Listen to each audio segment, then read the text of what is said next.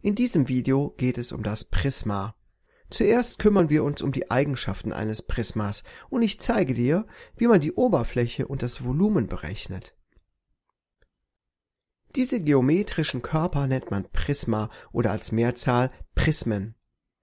Es gibt verschiedene Arten von Prismen. Alle Prismen haben einen Grund und eine Deckfläche. Grundfläche und Deckfläche sind parallel und kongruent. Kongruent bedeutet, dass sie gleich groß sind und die gleiche Form haben. Außerdem gibt es den Mantel, der den Rest der Oberfläche bildet. Auch der Quader und der Würfel gehören zur Familie der Prismen. Wenn man die Seiten eines Prismas aufklappt und in eine Ebene bringt, dann spricht man vom Netz eines Prismas. Dieses Prisma nennt man Prisma mit dreieckiger Grundfläche. Hier siehst du dasselbe bei einem Prisma mit trapezförmiger Grundfläche. Die Grund- und Deckfläche werden oft beide als Grundfläche bezeichnet. Das H mit dem tief gestellten K bezeichnet hier die Höhe des Körpers. Jetzt kommen wir zur Oberfläche des Prismas. Die Oberfläche ist jene Fläche, die nass wird, wenn ein Prisma ins Wasser getaucht wird. Im Schrägriss siehst du nur ein Teil der Oberfläche, nämlich eine Grundfläche und ein Teil des Mantels. Deshalb betrachten wir das Netz und erkennen, dass die Oberfläche aus zwei Grundflächen und einem Mantel besteht. Das gilt bei jedem Prisma. So kommen wir jetzt auch zur Formel für die Oberfläche.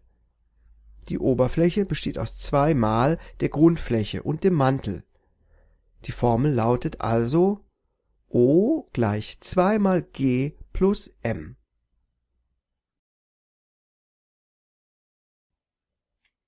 Dazu müssen aber erst die Grundfläche und der Mantel berechnet werden. Diese Formeln unterscheiden sich bei den verschiedenen Prismen Du musst für die Berechnung der Oberfläche also auch die Flächenformeln kennen. Die Grundfläche ist ein rechtwinkliges Dreieck. Die Formel für die Grundfläche lautet deshalb a mal b durch 2. Der Mantel ist immer ein Rechteck. Eine Seitenlänge ist gleich lang wie der Umfang der Grundfläche, was mit einem U mit einem tiefgestellten G für Grundfläche abgekürzt wird. Die andere Seitenlänge bildet die Körperhöhe h. In diesem Fall wird der Mantel also mit a plus b plus c in Klammern gesetzt mal h berechnet. Jetzt kennst du die Grundfläche und die Mantelfläche und kannst damit die Oberfläche berechnen. Bei diesem Prisma bildet die Grundfläche ein Trapez. Wir benötigen deshalb die Trapezformel. Gut aufpassen musst du bei der Höhe oder besser gesagt bei den verschiedenen Höhen. Es gibt nämlich eine Höhe im Trapez und eine Körperhöhe des Prismas. Damit du die beiden nicht verwechselst, wird bei diesem Beispiel die Körperhöhe mit einem kleinen h und einem tiefgestellten k abgekürzt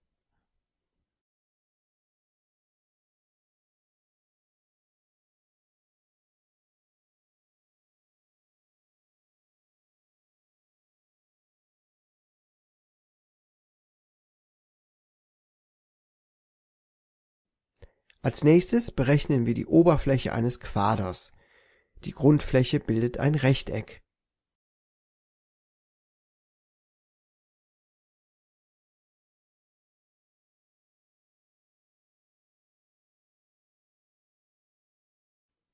Die Berechnung des Volumens eines Prismas ist um vieles einfacher. Die Formel lautet V gleich G mal H Du musst also nur die Grundfläche mit der Körperhöhe multiplizieren, um das Volumen zu erhalten. Wie bei der Oberfläche musst du zuerst die Grundfläche ausrechnen.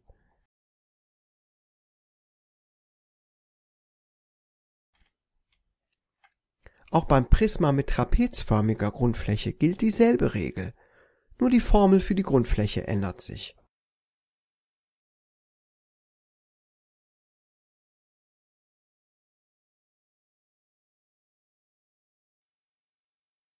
Auch das Volumen des Quaders, also eines Prismas mit rechteckiger Grundfläche, kann auf diese Art berechnet werden.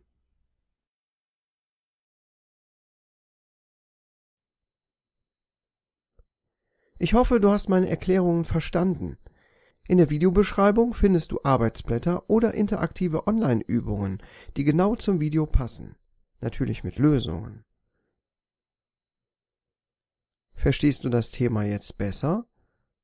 Dann würde ich mich über ein Abo oder Like freuen.